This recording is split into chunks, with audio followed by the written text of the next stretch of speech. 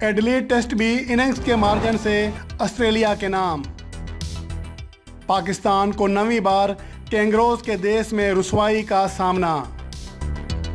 ایک ملک میں مسلسل زیادہ شکستوں کا بدترین ریکارڈ پاکستان کے نام ہو گیا۔ مسلسل شکستوں کا بنگلہ دیش کا بدترین ریکارڈ ٹوٹ گیا۔ سیریز کے بیٹنگ اور بولنگ اعداد و شمار سمیت ٹاپ بیٹسمینوں اور بولرز کا جائزہ اس رپورٹ میں شامل ہے۔ چھ برس کے طویل وقفے کے بعد پاکستان کو پہلے فالوان کی خفت اور آسٹریلیا میں نویں ٹیسٹ سیریز ہارنے کا دکھ بھی سہنا پڑ گیا، جبکہ اس کے ساتھ ساتھ کسی ایک ملک میں مسلسل سب سے زیادہ چودہ ٹیسٹ میچز ہارنے کا بدترین ریکارڈ بھی پاکستان کے نام ہو گیا ہے۔ اس سے پہلے یہ بدتر ریکارڈ بنگلہ دیش کے پاس تھا، جسے دو ہزار ایک سے دو ہزار چار تک اپنے ہی ملک میں لگاتار تیرہ ٹیسٹ میچز میں شکست ہوئی تھی۔ پاکستان نے اب تک آسٹریلیا میں تیرہ ٹیسٹ سیریز کھیلی ہیں، جن میں سے وہ ایک بھی سیریز نہیں جیت پائی، جبکہ محض تین سیریز میں شکست سے بچنے کے علاوہ دیگر نو سیریز میں اسے شکست کی حضیمت اٹھانا پڑی ہے۔ پاکستان کو حالیہ سیریز کے دونوں ٹیسٹ میچز میں اننگز کے مارجن کی شکست کا سامنا کرنا پڑا۔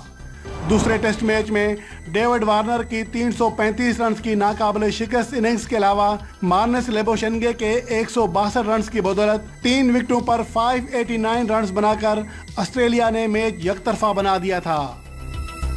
جوابی اننگز میں پاکستان ٹیم یاسر شاہ کی سنچری اور بابر اعظم کے ستانوے رنز کی اننگز کی بدولت تین سو دو رنز بنانے میں کامیاب ہوئی، مگر وہ فالوان سے نہ بچ پائی، جو اسے دو ہزار تیرہ میں جنوبی افریقہ کے خلاف سینچورین ٹیسٹ کے بعد ہونے والا پہلا فالوان تھا۔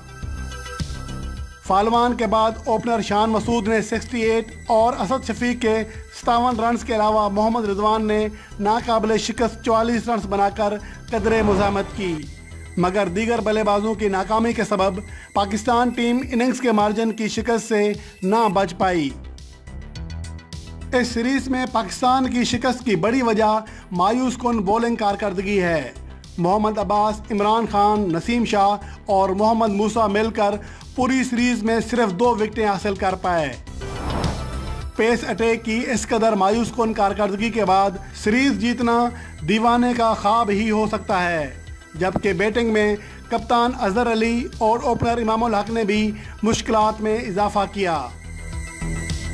پاکستان اور آسٹریلیا کے مابین کھیلی گئی دو ٹیسٹ میچز کی سیریز کے ٹاپ بلے بازوں پر نگاہ ڈالیں تو ڈیوڈ وارنر اور مارنس لبوشنگے ہی بڑا فرق ثابت ہوئے، جو سیریز کے ٹاپ فائف میں شامل دو آسٹریلوی بلے باز تھے۔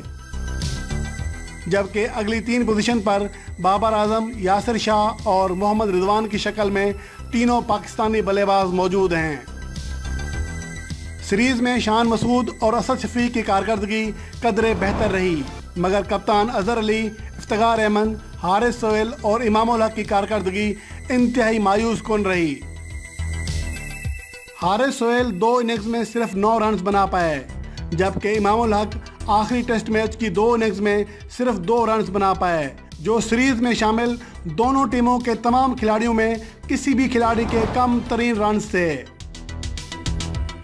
سیریز میں پاکستانی بولرز کی کارکردگی انتہائی مایوس کن رہی۔ سیریز میں پانچ پلس وکٹیں لینے والے پانچ بولرز میں پاکستان کی جانب سے صرف شاہین شاہ افریدی ہی جگہ بنا پائے۔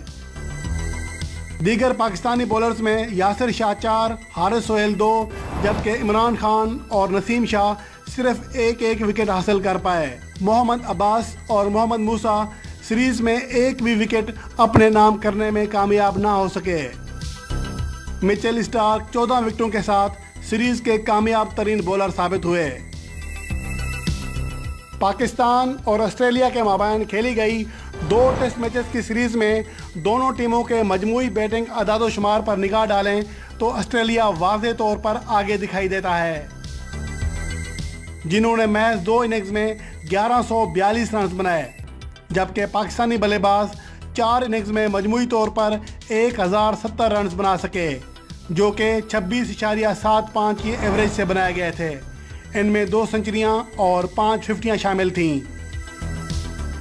جبکہ آسٹریلیا کی جانب سے صرف دو ٹیم اننگز میں گیارہ سو بیالیس رنز بنے۔ جن میں چار سنچریاں اور دو ففٹیاں شامل تھیں۔ آسٹریلوی بلے بازو نے ستاسی اشاریہ آٹھ چار کی بیٹنگ ایوریج سے رنز بنائے۔ کم و بیش یہی حال بولنگ میں بھی رہا۔ آسٹریلوی بولرز نے سیریز میں انتالیس وکٹیں حاصل کیں، جبکہ پاکستانی بولرز صرف تیرہ وکٹیں حاصل کر پائے۔ پاکستانی بولرز کو فی وکٹ کے لیے اٹھاسی سے بھی زائد رنز دینا پڑے۔ جبکہ آسٹریلوی بولروں نے فی وکٹ کے لیے ستائیس رنز دیے۔